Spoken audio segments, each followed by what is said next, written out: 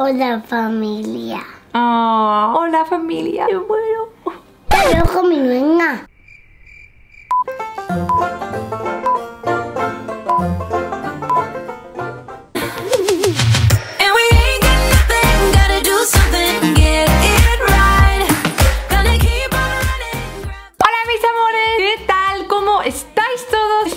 Estéis súper bien. Yo sí, porque ahora mismo yo estoy de vacaciones. ¿No lo notas? Porque claro, pues supuestamente ya he dejado todos los vídeos preparados. Como ya he dejado todos los vídeos preparados de la baja maternidad, también he dejado los vídeos preparados cuando estoy de vacaciones. ¡Aplauso! Y venga, va, un aplauso, un aplauso para Steffi. Si es la primera vez que me ves, pues yo soy Steffi y muy bienvenida mi canal. Si tú también quieres formar parte de esta familia, solo tienes que apretar el botoncito aquí abajo y activar las notificaciones para que te llegue un mensaje cuando subo un vídeo.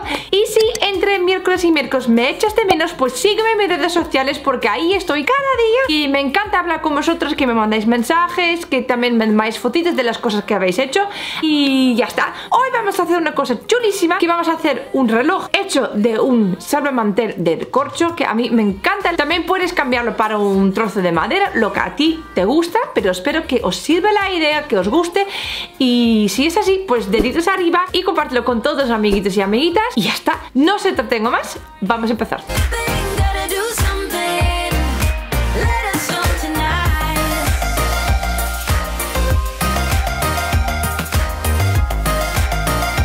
Primero necesitas el mecanismo de un reloj, así que yo he comprado este reloj bien barato que solo me costó 2 euros en Ikea.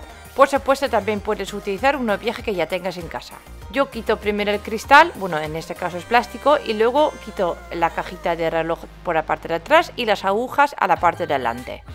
Necesitas un salvamantel de corcho y da igual qué tamaño lo que a ti te gusta más. Vamos a encontrar el centro de nuestro corcho.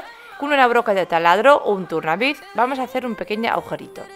En caso que no te sale el centro de tu mecanismo porque tu corcho es muy grueso o tu reloj es muy pequeño, habrá que hacer un pequeño hueco en la parte de atrás del reloj. Marcamos primero y luego con un turnavid pequeño o con un cúter vamos rascando con muchísimo cuidado para ganar un poco de profundidad en el corcho. Así la cajita entrará y el centro del mecanismo saldrá por la parte delante porque así podemos volver a poner las agujas. Ahora vamos a decorarla.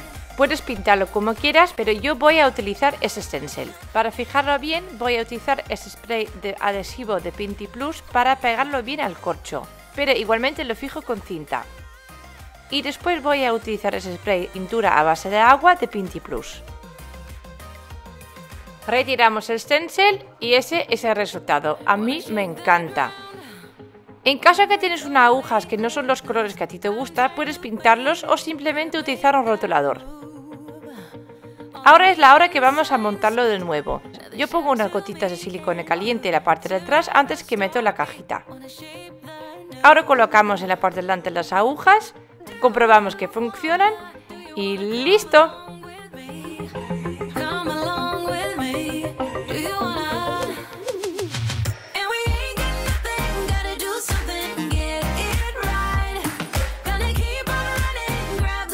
Deditos arriba y like, ¿eh? Deditos arriba y like, ¿eh? Si te haya gustado el vídeo, deditos arriba, firma algo, déjame un comentario aquí abajo. Sígueme en mis redes sociales si todavía no lo haces y no quieres echarme de menos hasta el siguiente miércoles.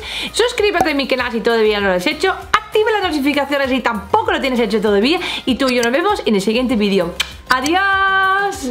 Adiós, familia. vamos, vamos. Adiós. ¿Por qué haces eso? Que estás a todos los youtubers gordos. Y yo lo había hecho cuando había hecho un vídeo.